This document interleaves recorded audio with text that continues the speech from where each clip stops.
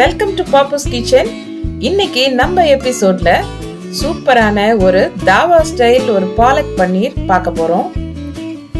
நான் தாபாலெல்லாம் சாப்பிட்ருக்கேன் சூப்பராக இருக்கும். அங்கே செய்கிற ரொட்டி அப்புறம் இந்த மாதிரி கிரேவிஸ் வந்து நார்த் இந்தியன் ஸ்டைலில் இருக்கும் அந்த டேஸ்ட்டு அதே மாதிரி ஒரு நார்த் இந்தியன் ஃப்ளேவரோடு இருக்கிற இந்த பாலக் பன்னீர் தான் நம்ம இன்னைக்கு பார்க்க போகிறோம் இதே ஸ்டைலில் நம்ம வீட்டில் சிம்பிளாக சூப்பராக எம்மியான ஒரு பாலக் பன்னீர் தாபா ஸ்டைலில் நம்ம இன்னைக்கு பார்க்க போகிறோம் இதுதான் இப்போ செய்ய போகிறோம் வாங்க ரெசிபிக்குள்ளே போகலாம் பன்னீர் ஃப்ரை பண்ணிடலாம் முதல்ல.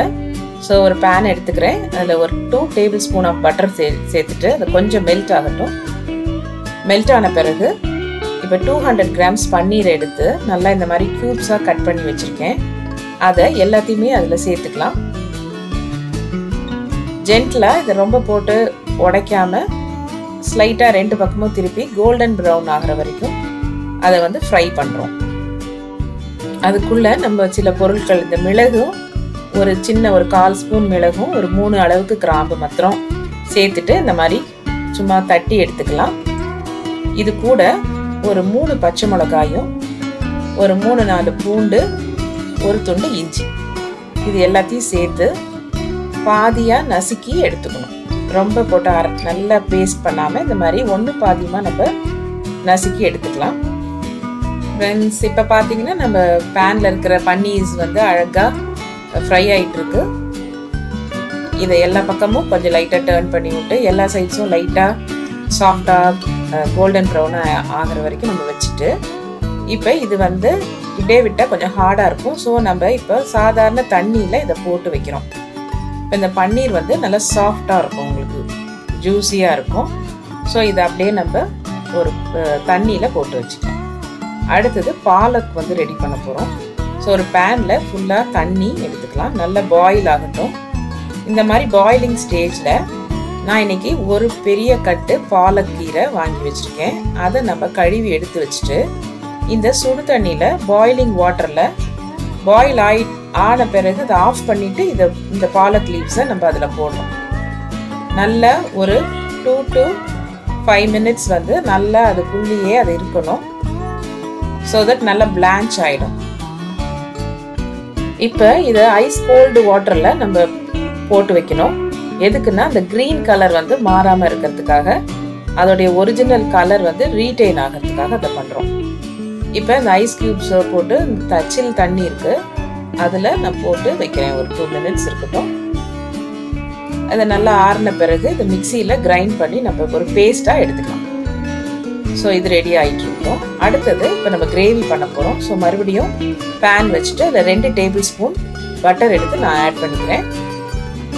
கொஞ்சம் மெல்ட் ஆன பிறகு ஒரே ஒரே துண்டு பட்டை சேர்த்துக்கிறேன்.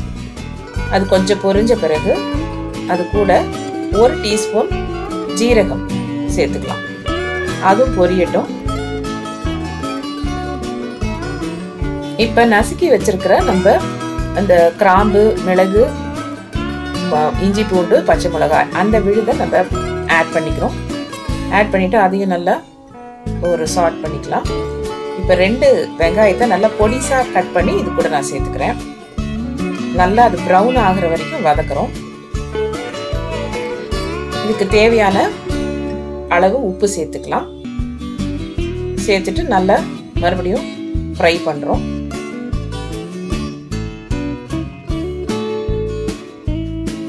ஃப்ரெண்ட்ஸ் இப்போ பார்த்தீங்கன்னா நல்லா அந்த ஆனியன்ஸ்லாம் நல்லா சூப்பராக ஃப்ரை ஆயிடுச்சு.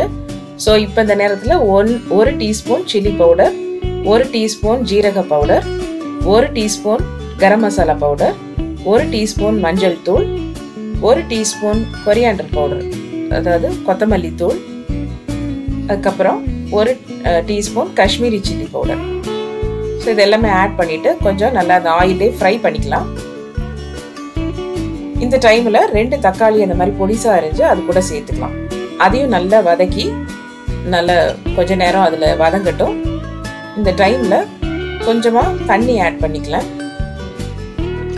ஆட் பண்ணிவிட்டு அந்த நல்ல தக்காளிலாம் வெந்து அதோடைய நல்ல ஒரு கிரேவியாக மசாலாவாயிடும் இந்த டைமில் நான் அரைச்சி வச்ச இந்த பாலக்க கீரையை ஆட் பண்ணிக்கலாம்.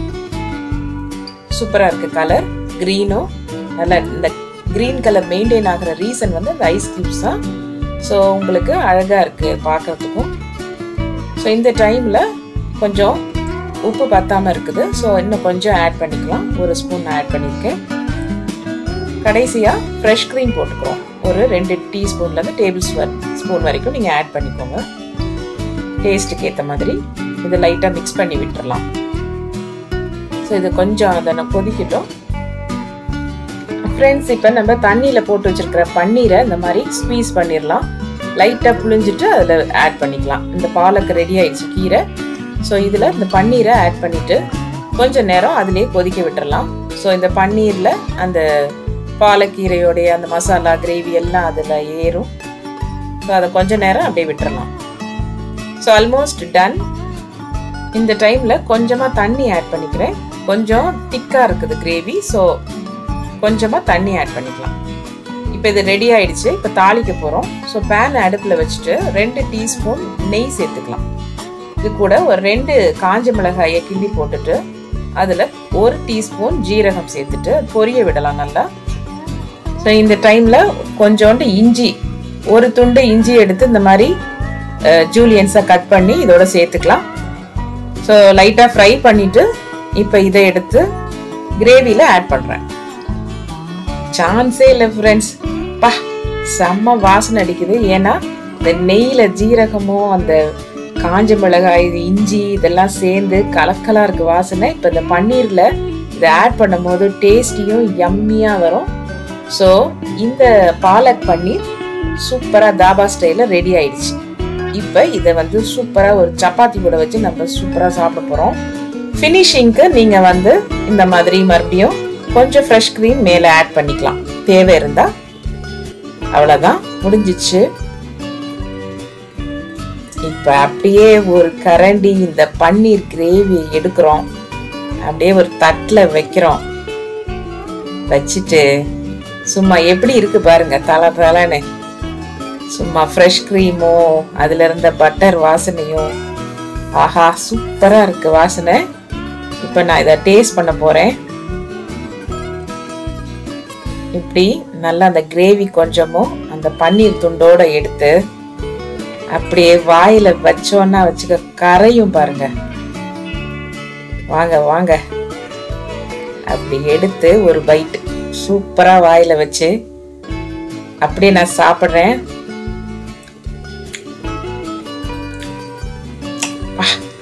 சூப்பராக இருக்கு ஃப்ரெண்ட்ஸ் ஸோ ஃப்ரெண்ட்ஸ் நான் இன்னைக்கு சூப்பராக டேஸ்ட் பண்ணிட்டேன் எம்மியாக வந்திருக்கு. ஸோ நீங்களும் உங்களுக்கு இந்த ரெசிபி பிடிச்சிருந்ததுன்னா ஃபஸ்ட்டு ட்ரை பண்ணுங்கள் ட்ரை பண்ணிவிட்டு டேஸ்ட் பண்ணிவிட்டு உங்களுடைய கமெண்ட்ஸ் எனக்கு போஸ்ட் பண்ணுங்கள் கண்டிப்பாக இந்த வீடியோவை உங்களுக்கு பிடிச்சிருந்ததுன்னா ஷேர் பண்ணுங்கள் லைக் பண்ணுங்கள் ஸோ என்னுடைய நெக்ஸ்ட் ரெசிபியில் உங்கள் எல்லாரையும் வந்து மீட் பண்ணுறேன் அண்டில் தென் பாய் ஃப்ரம் பாப்பர்ஸ் கிச்சன்